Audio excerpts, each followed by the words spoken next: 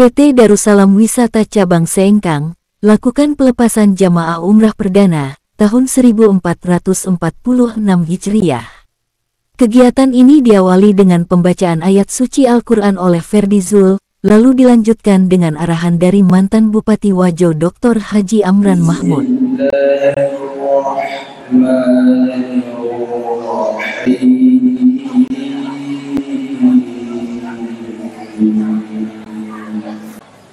أم حسبتم أن تتركوا ولما يعلم الله الذين جاهدوا منكم ولم يتخذوا من دون الله ولا رسوله ولا المؤمنين وليا Dalam arahannya, Amran Mahmud menyampaikan ucapan selamat kepada para jamaah umrah, dan berpesan agar selalu saling mengingatkan dalam melaksanakan ibadah umrah.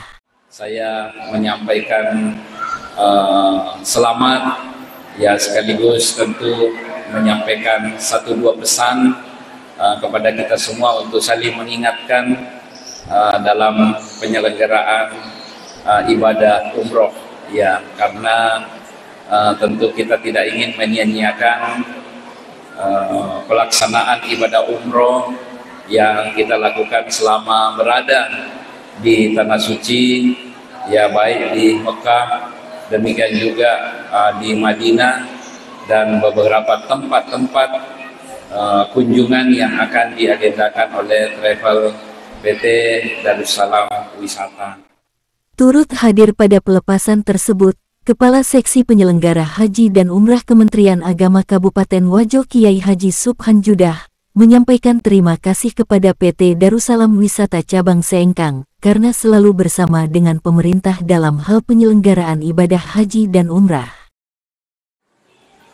Pertama, atas nama Kementerian Agama Kabupaten Wajo, mengucapkan terima kasih yang sebesar-besarnya kepada PT Darussalam Wisata yang selama ini terus bersama-sama dengan pemerintah terus meningkatkan koordinasi komunikasi terus meningkatkan pembinaan dan pelayanan kepada jamaah kita khususnya yang ada di Kabupaten Wajo. Lebih lanjut Subhan menambahkan bahwa PT Darussalam Wisata merupakan salah satu penyelenggara ibadah umrah yang telah mengantongi izin dari Kementerian Agama Republik Indonesia dan telah diberikan rekomendasi untuk membuka cabang di Kabupaten Wajo. PT Darussalam Wisata adalah penyelenggara ibadah umrah yang resmi, yang memiliki kantor cabang di Sengkang, dan direkturnya adalah Ketua FKKBIH Provinsi Sulawesi Selatan. Perlu kami sampaikan bahwa PT Darussalam adalah salah satu penyelenggara ibadah umrah yang resmi, punya kantor cabang di Sengkang, dan direkturnya adalah Ketua eh, Forum KBH eh, Provinsi Sulawesi Selatan. Kami ucapkan selamat kepada jamaah yang akan melaksanakan ibadah dan juga terima kasih kepada teman-teman PPU yang beroperasi di wilayah Kabupaten Wajo. Sebanyak 70 jamaah umrah resmi dilepas oleh mantan Wakil Bupati Wajo Haji Amran di Masjid Al-Manar Tempe Kabupaten Wajo, Rabu tanggal 14 Agustus tahun 2024.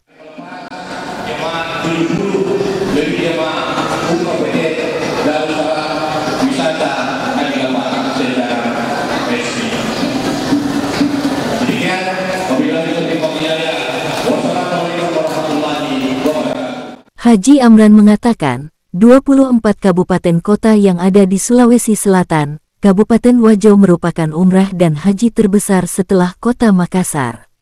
Ini merupakan hal yang sangat luar biasa, dan merupakan barometer kesejahteraan suatu daerah dengan adanya pemberangkatan umrah yang sangat luar biasa. Pada hari ini kami mendapat undangan dari PT Darussalam Wisata beserta seluruh jajarannya. Kami hadir di sini bukan sebagai pejabat tapi secara pribadi.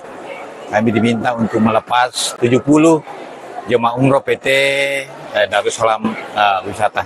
Tentu secara pri pribadi saya mengucapkan banyak terima kasih kepada PT Darussalam Darussalam Wisata, salah satu travel yang layak dipercaya di Kabupaten Wajo, yang selalu memberangkatkan jemaahnya tentu dengan layanan yang prima, layanan yang telah dijanjikan kepada eh, para jemaah eh, melakukan yang terbaik bagi eh, para eh, jemaah. Sekali lagi saya ucapkan terima kasih, selamat.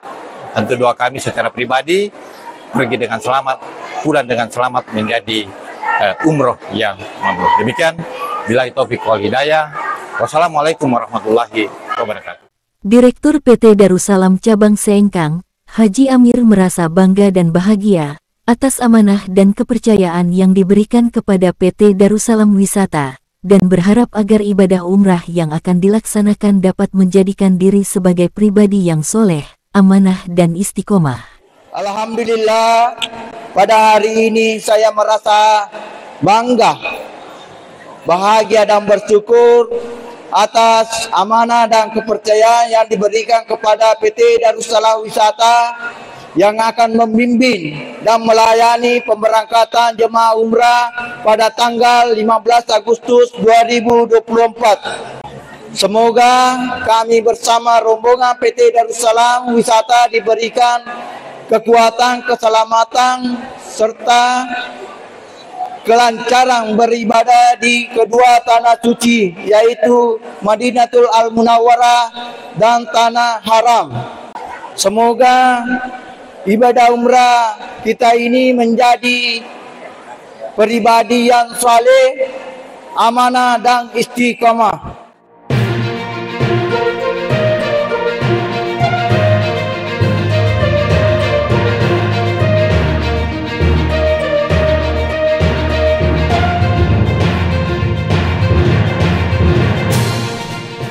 Dari Masjid Almanar Tempe, Deden Sutra Channel mengabarkan.